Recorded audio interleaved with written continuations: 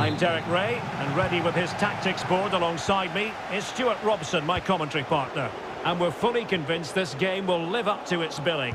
It is Liverpool against Paris Saint-Germain. And showing fine vision. Ready to fire. Oh, my goodness! He's caught that so well!